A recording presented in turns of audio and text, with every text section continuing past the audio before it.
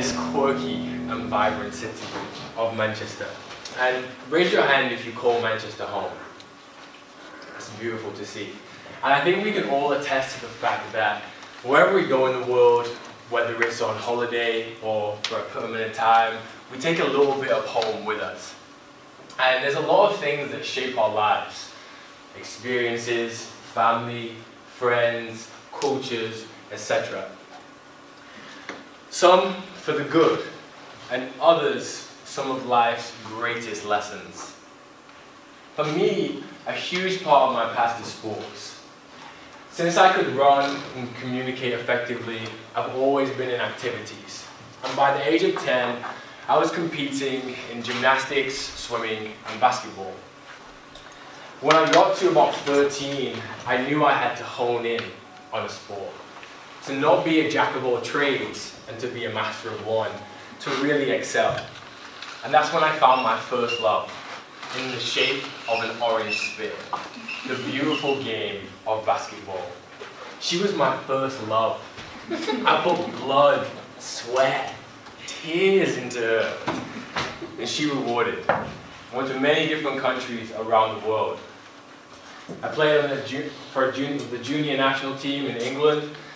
I earned a scholarship to America, did two group degrees alongside the game, and met some connections that I hold near and dear to my heart. In January of this year, I came back from the States after eight years of being there. And little did I know then that I was leaving an identity that I'd worked years and years to build. The game, my connections, and ultimately a status that I felt very, very comfortable in. I owe a lot to the game. It opened so many doors for me that I could never imagined when I was a teenager pursuing this. And I put a lot of time into it. Some would say bordering on obsession. But when I look back into where I am today, and I look back to January coming, coming back home, I struggled for many months. I was yearning for a feeling that I had in a different location.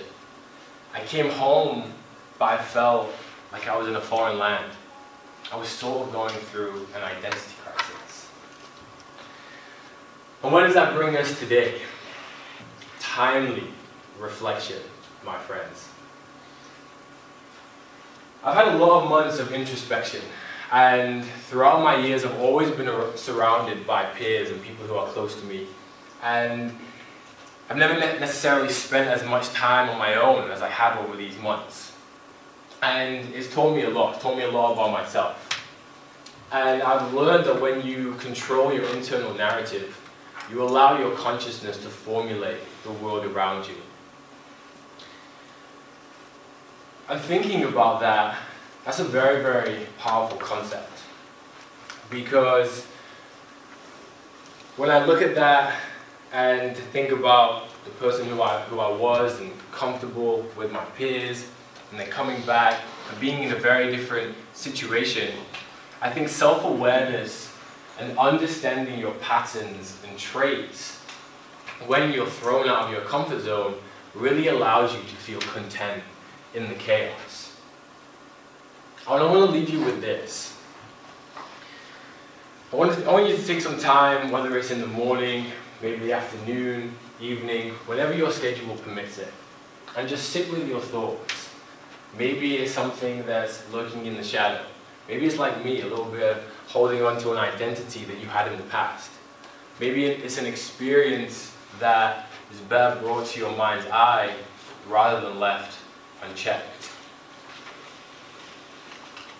And I believe this allows us to look at where we've been, where we're at, and where we're going. And ultimately gives us a sense of self-awareness to improve ourselves and go forward in a great light. Because when you write your internal narrative, it helps formulate the world around you. Thank you.